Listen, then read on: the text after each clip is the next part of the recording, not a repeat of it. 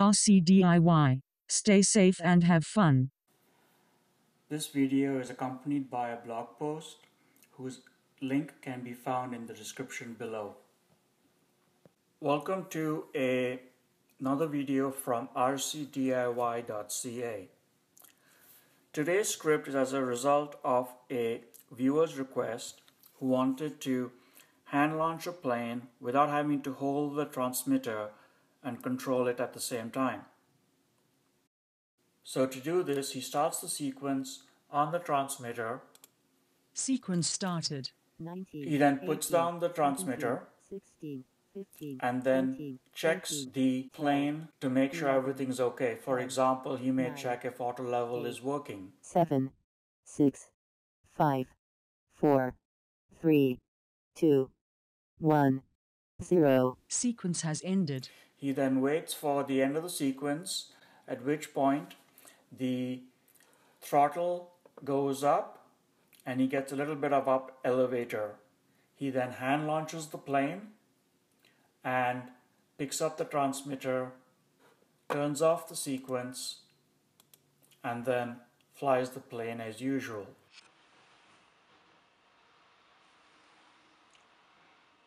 nine, eight, seven, six, five, four, three, two, one, zero.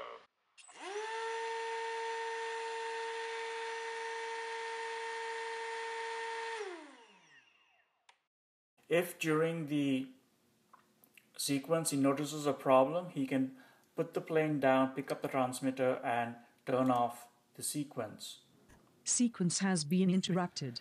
Various parameters of the script can be edited and changed through the custom scripts configuration screen. For example, the switch to use to start and stop the sequence, the delay or the length of the sequence, the initial value of a channel when the sequence begins, and the final value of a, the channel when the sequence ends.